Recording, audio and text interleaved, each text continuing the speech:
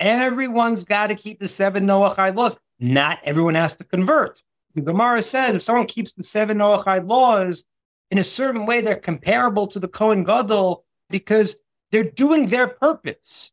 If the person is meant to be Jewish, that's who they are, it's who their soul really is, then they should go forward with that. But if for ulterior motives, that can't be because then it's living a lie.